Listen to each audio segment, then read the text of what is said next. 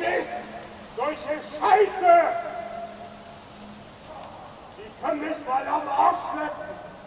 Dunkle Straßen,